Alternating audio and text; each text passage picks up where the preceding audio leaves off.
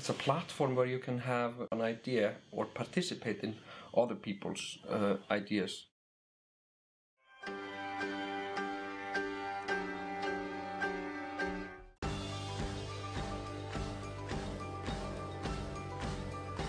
Citizens have been left out of the democ- uh, democratic process for a very long time.